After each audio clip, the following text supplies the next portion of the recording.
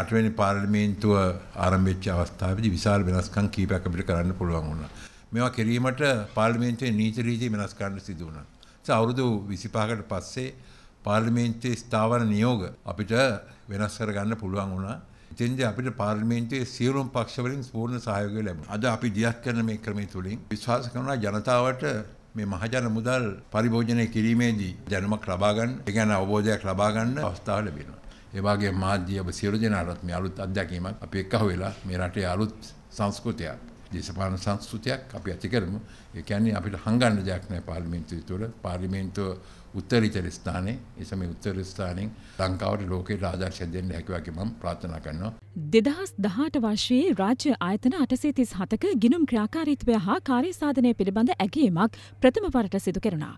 මේ වසරේදී ඒ පිළිබඳ වාර්තාවක් ඉදිරිපත් කිරීමට ක්‍රියාමාර්ග ගෙන ඇතැයි රාජ්‍ය ගිනුම්කාරක සභාවේ සභාපති ලසන්ත අලිකේවන්න මහතා කියා සිටියා.